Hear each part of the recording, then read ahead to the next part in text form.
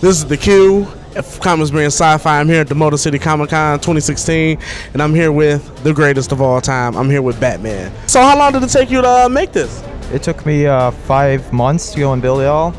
Five months. Wow. Was it uh, very expensive? Did you make all the stuff yourself? Probably cost uh, around $150.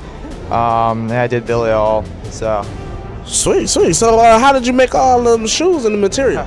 uh, I used this um, foam called EVA foam, and it was all made by that. I spray painted um, all the uh, armor, and I used LED. Oh, sorry, LED lights for the uh, eyes.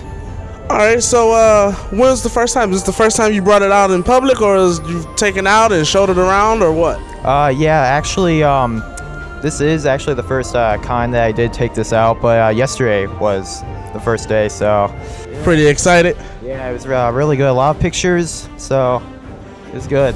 Here's the big question that we always argue about: Which one was better, Batman vs Superman or Civil War? I'm gonna go with Batman v Superman.